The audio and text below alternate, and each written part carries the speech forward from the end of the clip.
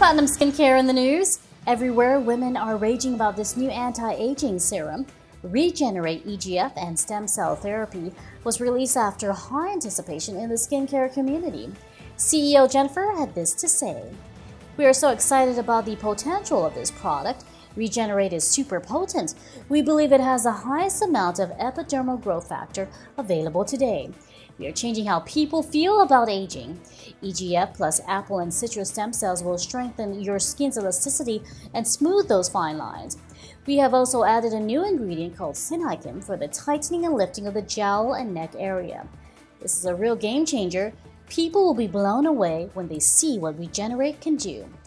You heard that, folks. Head on over to PlatinumSkincare.com and learn more. I think I'm going to get a bottle.